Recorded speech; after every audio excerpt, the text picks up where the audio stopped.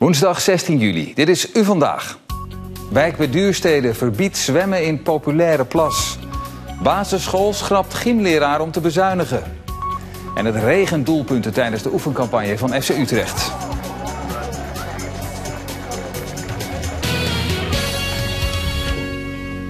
Goedenavond. De nevengeul van de Kromme Rijn in Wijk bij Duurstede is een populaire zwemplas. Maar niet voor lang meer, hè? verslaggever Sean Walsh. Ja, op dit moment is het heerlijk, zo bij deze hitte met je voetjes in het water. Maar over een week kost dit gewoon 90 euro boete. Oké, straks meer. Nu eerst ander nieuws van vandaag. Verdeelde meningen na de speciale raadsconferentie over het Zoe Hofpoort ziekenhuis in Woerden gisteravond. De zeven gemeentes in de regio werden het niet eens over welk deel van het ziekenhuis behouden moet blijven na de fusie met het Sint-Antonius. Voor een gezamenlijke verklaring wordt getekend, gaan de raadsleden nu eerst met hun eigen fracties overleggen. Een 51-jarige vrouw die geld had verduisterd van een Europa-run-team in Venendaal... heeft een werkstraf van 180 uur gekregen. Ook moet ze het gestolen geld terugbetalen. Als penningmeester drukte de Venendaalse ruim 10.000 euro achterover. Ze vervalste bankafschriften om dat te verbergen. Europa Run is een estafetteloop waarmee geld wordt opgehaald voor kankerpatiënten. De Neudenflat in Utrecht krijgt na het vertrek van de gemeente een flinke opknapbeurt. Op de eerste twee verdiepingen komt horeca, in de rest van het gebouw komen appartementen. Verder maakt het trappenhuis plaats voor balkons en komt op de bovenste verdieping een uitkijkpunt. De gemeente heeft het gebouw niet meer nodig als het grote nieuwe stadskantoor in gebruik wordt genomen. Schoolbestuurders in Utrecht en Stichtse Vecht zijn gematigd positief over het nieuwe passend onderwijs. Komend schooljaar gaat de wet op passend onderwijs in en moeten scholen veel meer leerlingen aannemen met gedragsproblemen of een handicap. Kinderen kunnen zo makkelijker in de maatschappij integreren. Op een aantal testscholen blijkt nu dat de verwachte problemen zijn te overzien. Het is afgelopen met zwemmen in de Nevengeul in Wijk bij Duurstede. De plas langs de Kromme Rijn is populair bij zwemmers, al mag je daar eigenlijk niet zwemmen. De gemeente zag het altijd door de vingers, maar dat is nu afgelopen. En dat terwijl het steeds warmer wordt en de zomervakantie voor de deur staat. Verslaggever Sean Wells, waarom wordt het nu eigenlijk verboden? Ja, omdat deze plas eigenlijk niet bedoeld is voor recreatie. Het is ergens anders voor bedoeld. Wel jammer, jammer voor die kinderen die hier gebruik van maken. Maar de gemeente die wil echt dat het afgelopen is. Dit jaar is er echter eh, een, eh, ja, een ontwikkeling eh, op gang gekomen waardoor het zo grootschalig is geworden dat we gemeente hebben moeten zeggen van ja, nu wordt het te groot, het gaat aan zijn eigen succes ten onder. Dus ja, het kan niet meer. Vandaag zijn er zo'n 20 kinderen die gebruik maken van het water. En ze zijn niet blij met het nieuws. Vanaf volgende week donderdag mag je hier niet meer zwemmen. Echt? Echt? Nee, dat is Waarom niet? Nou ja, ja waarom niet? De plas is twee jaar geleden aangelegd met als doel natuur te worden. Toen er vorig jaar kleine groepjes kinderen speelden, besloot de gemeente dit te gedogen. Maar de gemeente komt vandaag dus terug op dat eerdere besluit. Ik vind het bullshit. Ja? Wie wilde nog een, een flyer? Maar ik bedoel, wat wil de gemeente dan? Dat wij allemaal op onze vrije middag, wanneer het 30 graden is, achter de tv gaan zitten? Nou, nee. Vandaag is meteen begonnen met het uitdelen van folders. Vanaf volgende week volgen boetes van 90 euro. Bullshit, ja. Allemaal bullshit. Ja, en je snapt dat Jelle, Mike, Sophie en hun vriendjes het daar begrijpelijkerwijs niet mee eens zijn. Terug naar verslaggever Sean Walsh in Wijk bij Duurstede. Sean, dat lijkt niet zo handig. Een zwemverbod vlak voor de zomervakantie. Ja, nou ja, en helemaal. Vorig jaar mocht het eerst niet. Toen wel, toen daar, toen daar wat onrust discussie over kwam. Begin dit jaar uh, zei de gemeente dat het, dat het wel mocht en nu weer niet. En dan ook nog ja, op het moment dat de zomervakanties begonnen. Deze kinderen die maken er al gebruik van. En dan om op dit moment te zeggen hè, dat het niet mag. En dat je daar dan de sterke arm naartoe stuurt. Nou ja, tel het maar bij elkaar op. Handig is het niet. En waarom moet nou uitgerekend die plas daar achter jouw natuurgebied worden?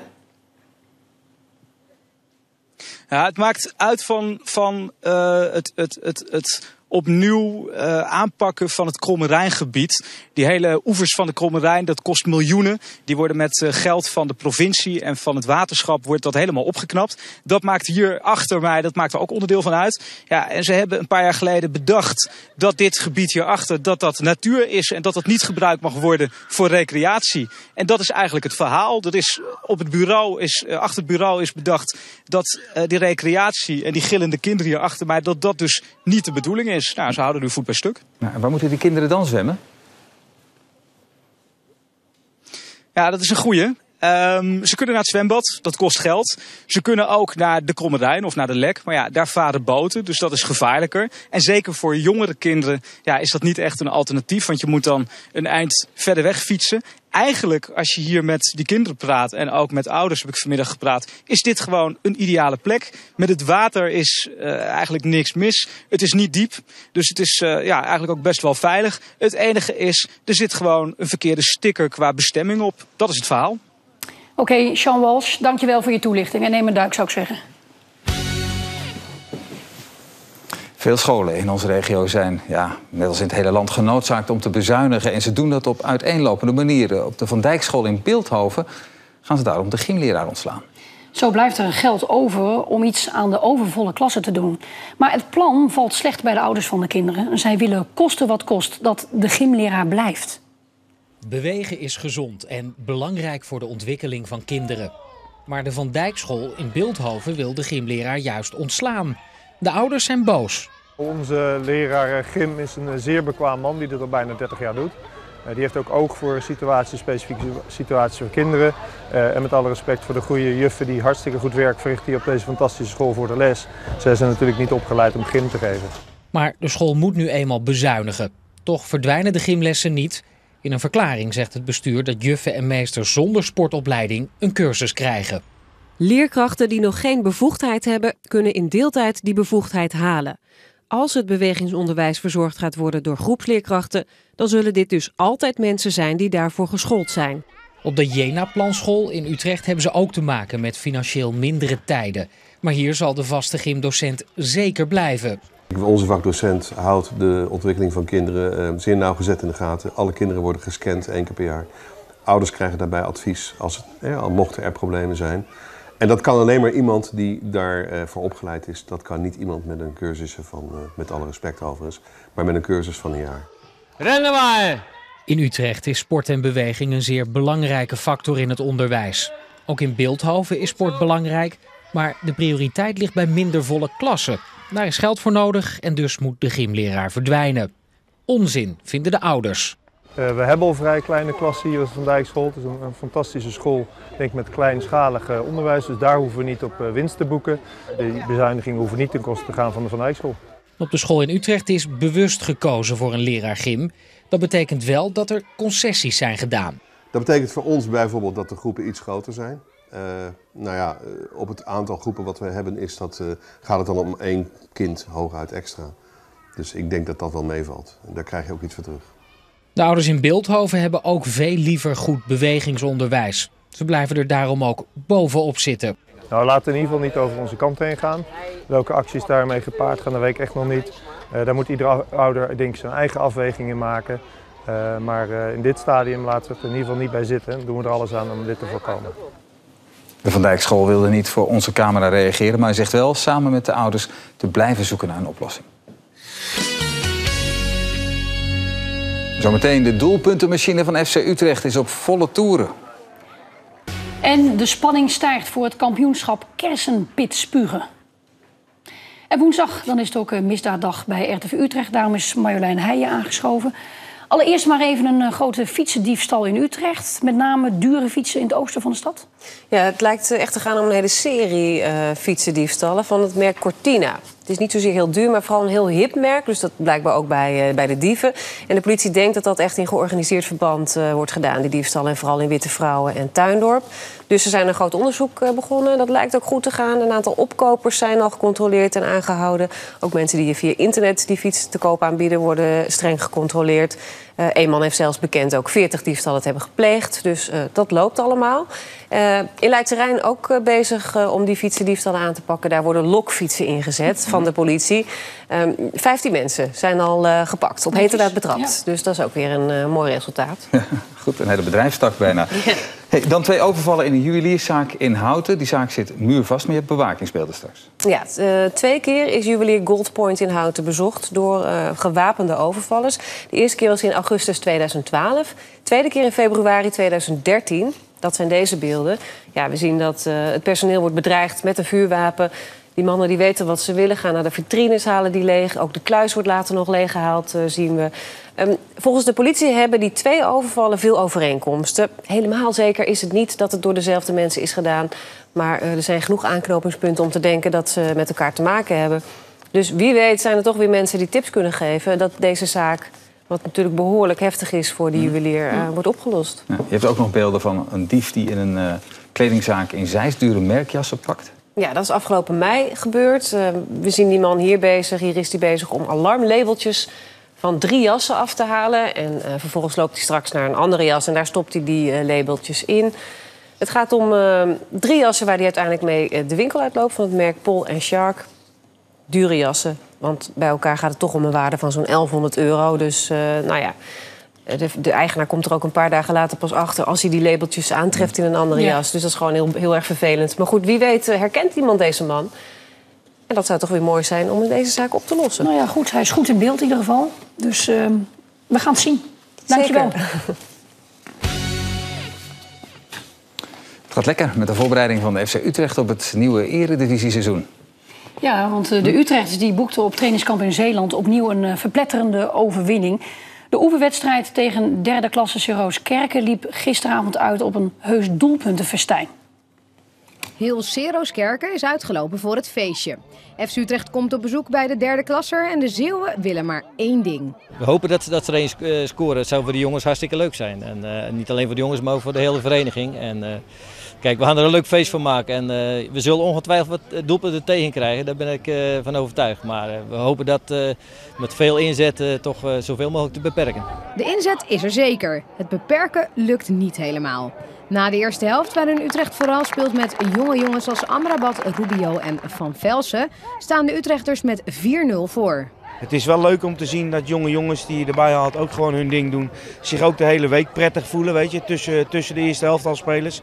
Dus het gaat eigenlijk gewoon eh, naar wens, maar ook wel naar verwachting. Als er na een uur spelen 10 man worden gewisseld, zien we weer de bekendere gezichten. Aanvoerder Willem Jansen bijvoorbeeld, die steeds dicht bij een goal is. Ja, het enige minpuntje eigenlijk is dat we wel veel te weinig goals hebben gemaakt. Lag het aan die keeper van hun of aan jullie? Ja, ze hadden twee keepers, maar die deden het inderdaad allebei wel aardig. Maar ja, het is natuurlijk wel zo dat als die keeper hem eh, tegen kan houden, heb je niet goed genoeg afgerond. Ik heb de keeper net gevraagd of hij shirtje wilde rijden met me, want ik heb drie keer tegen hem aangeschoten. Maar eh, ja, die keeper die, eh, die was op dreef. Ja, leuk.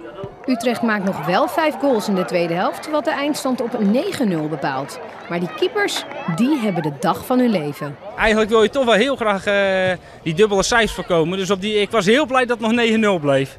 Nu moet FC Utrecht nog een paar dagen hard trainen in Zeeland en dan zijn ze klaar voor het meer serieuze werk. Vooral op het, eh, op het trainingsveld zie je, daar speel je natuurlijk eh, op, op een hoog niveau. En eh, ja, daar verloopt het, eh, verloopt het heel goed. En dan eh goed, je wedstrijd is dus moeilijk om, om dat te zeggen dan, omdat je verdediger natuurlijk heel weinig hoeft te doen.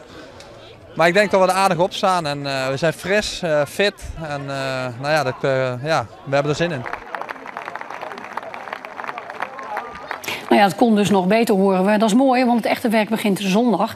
Dan is eh, de open dag en eh, een oefenduel ook tegen het Schotse Dundee United.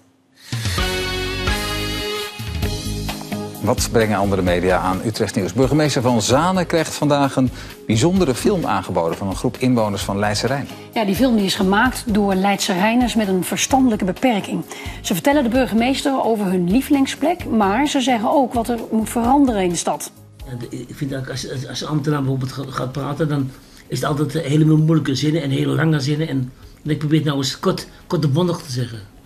nou ja, dat is een van de, de vele adviezen aan de burgemeester van Zanen. Ehm, best een goede, zou ik zeggen. Er waren trouwens ook veel tips over de inrichting van Leidse Rijn. Onder andere over de beplanting in hun eigen wijk. Mooi toch? Nou, we hopen dat er wat mee gebeurt. Ik eh, denk dat het wat op gaat leveren. Ja? Origineel vind ik het wel. Zeker. Amersfoort heeft eh, veel Duitse bedrijven in de stad. En dat is goed voor de economie en de werkgelegenheid. Zien we ook in het Duitse programma Wirtschaft Report. Amersfoort ist unter den Top 5 aller niederländischen Standorte für deutsche Unternehmen. Die Stadt gehört außerdem zur Region Utrecht. De Keistad staat op plek 5 van de meest aantrekkelijke steden om je bedrijf te vestigen. Veel Duitse bedrijven doen dat eh, dan ook. En de provincie Utrecht is daarmee een van de meest concurrerende regio's van Europa. Burgemeester Bolsjes zat ook nog in het filmpje en hij is daar heel erg trots op. Misschien eh, levert het een eigen spelshow op in Duitsland. Je weet het maar nooit. De, de 24-jarige Mitchell Perdon uit Wijk bij Duurstede doet mee aan de Vierdaagse van Nijmegen. Maar hij heeft wel een heel bijzonder doel voor ogen. Dat zien we bij Omroep Gelderland. En zij toevallig nog, uh, nog vrij gezellig. Want die, want, ja, ik ben op zoek naar een leuke meid uh, namelijk. Oh, is dat het doel van, van jouw Vierdaagse? nou, u hoort het goed. Mitchell is dus op zoek naar een vrouw. De meeste vrouwen willen denk ik gewoon die Vierdaagse uitlopen. Dus het is nog maar de vraag of onze provinciegenoot gaat slagen. Maar het kan wel, want hij heeft nog twee dagen voor de boeg. Honing wordt gemaakt door bijen, dat weten we allemaal. Maar voor wij het op ons brood kunnen smeren, moet er toch eerst heel wat gebeuren. Ja, dat klopt. Bij het Milieu-educatiecentrum in Nieuwegein kun je zien hoe dat gaat. De honingraten moeten worden ontzegeld. En dan gaat honing ook nog in een soort centrifuge. Een bijzonder proces. Het is vandaag de keuze van de kijker. These are the giant Asiatic bees, the biggest of all honeybees.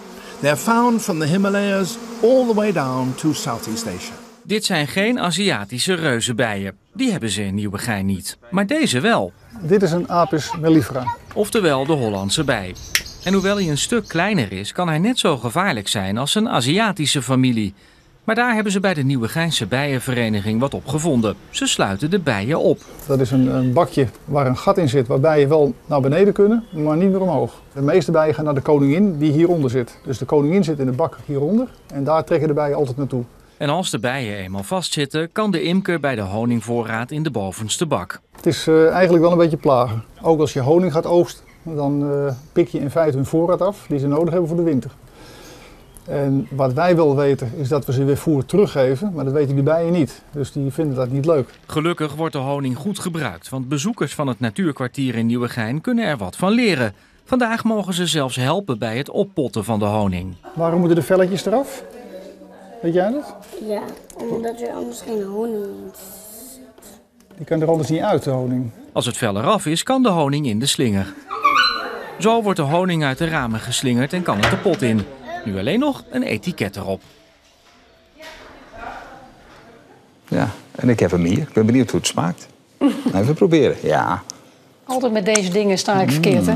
Heerlijk, echt een Ja. nieuwe Geinse honing. Waar kunnen we morgen uit kiezen, Marie? Precies, ik ga gewoon door. Met mooi weer voor de boeg kunnen we naar een eh, recreatiegebied in Haarzuilens. Morgen wordt eh, de Hamlaan officieel geopend. Dat is bedoeld voor fietsers en wandelaars. Maar ook kinderen en honden zijn daar op het goede adres. Want er zijn nieuwe speeltoestellen geplaatst. En er is ook een groot hondenuitlaatgebied aangelegd. Maar wat dacht u van het eh, Berenbos in Ouwehans Dierenpark in Renen? Er is weer een eh, nieuwe bewoner bij, beer Maria. En ze gaat eh, morgen voor het eerst rondsnuffelen in het Berenbos. En daar kunnen wij dan bij zijn. En tot slot kunnen we meekijken bij de rijbewijskeuring in Lunetten. Senioren laten zich uitgebreid testen op hun rijvaardigheden. En dat is belangrijk natuurlijk, want je wilt geen gevaren op de weg zijn. Dus samengevat het nieuwe recreatiegebied Ouwehans Dierenpark of de rijbewijskeuring. U kunt tot eh, morgen vroeg 9 uur stemmen op onze site rtvutrecht.nl. Ja, van de honing gaan we naar een andere lekkernij. Kersen, die liggen al een tijdje in de winkel. En de kans is groot dat ze van Utrechtse bodem komen. Telers uit de Kromme Rijnstreek bedenken van alles om ze aan de man te brengen. Dit weekend is er een kersenmarkt in Werkhoven... waar je kunt proeven, kopen, maar ook spugen. Geloof het of niet, maar in Werkhoven stijgt de spanning komend weekend naar ongekende hoogte tijdens de regionale kampioenschappen Kersenpit Spugen. Het idee is simpel, de uitvoering wellicht een stuk lastiger. Je moet goed veel lucht in je mond achter de pit zien te krijgen en dat moet je in één keer eruit zien te stoten. Dan krijg je pitsnelheid. En anders niet. Jos is een van de deelnemers zaterdag en hij denkt een goede kans te maken. Nu is het me gelukt tot 14 meter. Het idee voor de wedstrijd komt van kersenteler Wim Oskam. We hebben een beetje gezocht eh, en gegoogeld van of dat er andere kersenpit spuugbanen waren in, in andere streken. Maar eh, er zijn er wel, maar nog niet zo professioneel als dat wij dat gaan eh, proberen, zeg maar. De deelnemers nemen de wedstrijd heel serieus. Zo wordt er flink geoefend door Jos en dat betekent veel kersen eten en goed kauwen. Proberen ze zo schoon mogelijk te krijgen. Dan tuft hij het makkelijkste weg, maar laat hij ook het langste door. De omstandigheden voor de grote wedstrijd lijken gunstig. Het wordt lekker warm en de baan is in topconditie. Hij is gemaakt van eh, ehm, betonplex in hele goede kwaliteit. En dat is ook belangrijk dat hij mooi glad is. Dan kun je wat verder komen, hè? dus dan eh, noemen we dit een snelle baan. Zaterdag aan het einde van de middag moet duidelijk zijn wie zich kersenpitspuger van de Krom en Rijnstreek mag noemen. En voor de winnaar is er een toepasselijke prijs. Een tegoedbon eh, van eh, kilo's kersen. Jos heeft nog een paar dagen om te oefenen. Maar hoe serieus de wedstrijd ook genomen wordt, meedoen is belangrijker dan winnen. Nou, een beetje oefenen, dat kan je een beetje je luchttechniek eh, proberen voor elkaar te krijgen. Dus dat werkt natuurlijk altijd mee. Maar goed, kun je niet oefenen, moet je natuurlijk altijd mee blijven doen. Sowieso. Mooi. Nu ik die honing zie, ben ik blij dat hier geen kersen staan, Rix. er uh, hebben zich trouwens 30 deelnemers aangemeld. Maar ook zaterdagochtend zou u zich nog kunnen aanmelden als u ook wilt spugen. Heb je wat te doen dan? Ik heb wat te doen. Dat is kijken of we goed kersenspuug weer krijgen. Vanavond en vannacht is er nauwelijks bewolking. Het koelt af naar een graad of 14. Morgen vrij zonnig, maar er zijn ook wat stapelwolken. Dus weinig wind en het wordt ongeveer 26 graden. Op de Heuvelrug mogelijk nog iets warmer. En dat zonnige warme weer, dat houden we tot zaterdag. De temperatuur gaat de komende dagen zelfs richting de 30 graden. Ja, en zometeen uh, bureau Hengeveld met Marjolein dus. Marjolein, zijn er zaken al opgelost van vorige keer? Twee uh, zaken zijn opgelost van vorige week. Dus dat is uh, heel mooi nieuws. Nou, deze week natuurlijk weer nieuwe zaken. Inbrekers, winkeldieven en overvallers. En ze staan allemaal op beeld. Mooi, gaan we kijken. Tot zover u vandaag. Voor meer nieuws uit de regio kunt u terecht op onze site rtvutrecht.nl of op onze app. En wij zijn er morgen weer. Ja, verwacht van wel. Fijne avond. Dag. Fijne avond.